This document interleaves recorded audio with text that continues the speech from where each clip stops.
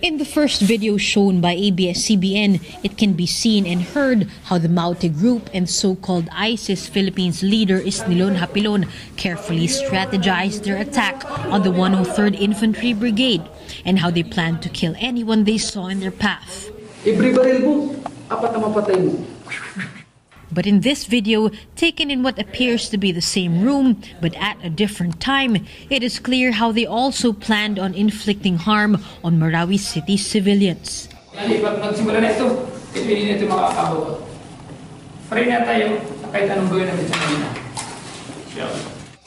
Leading the huddle this time is Abdullah Maute, one of the leaders of the Maute group. Beside him is his brother and co-leader Omar Maute. Both are sons of Lanao del Sur, but had no apparent remorse for ravaging the city they know by heart. On the table were maps of Marawi, with markings pointing to the capital, the 103rd Brigade, and Mindanao State University, or MSU.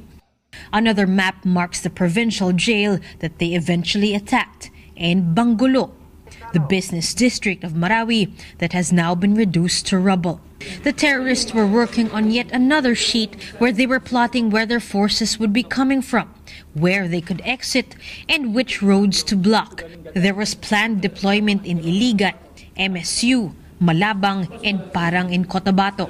All these roads lead to Marawi City yan ang pag natin. Ng mga sundalo.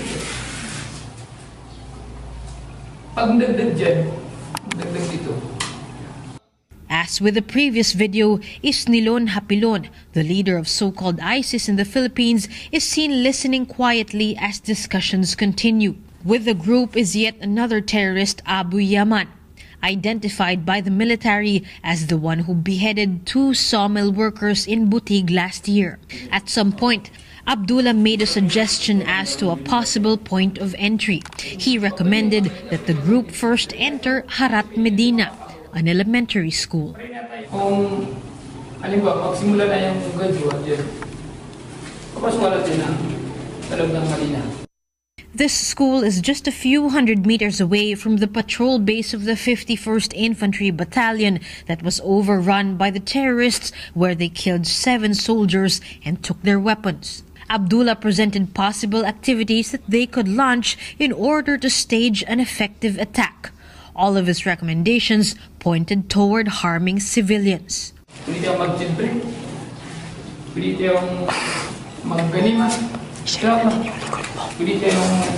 Uh, magkuha sa mga paralan.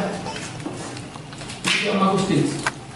In the video, they were still at the stage of deciding how many of them they needed to deploy and where they would hit first.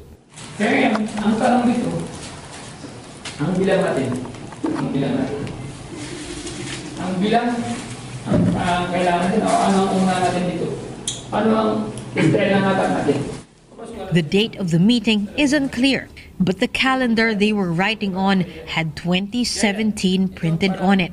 One thing is clear the goal was to hurt and spread fear.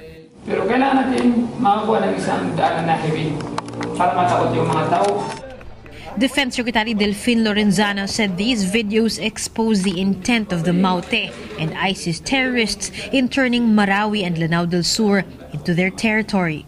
It proves that uh, these people were uh, trying to, uh, planning to take over the entire Marawi city and raise the flag at the capital, uh, the provincial capital, para sabihin nila ito na yung aming uh, Daesh or the uh, part of the calip caliphate na yan, uh, with uh, Mr. Hapilon as the, uh, the uh, emir. As of 1 p.m. on Thursday, 38 soldiers have already died and a whopping 186 soldiers have been wounded. Just yesterday, another soldier was shot while he was inside the brigade. He is the second one to be hit by sniper fire inside camp.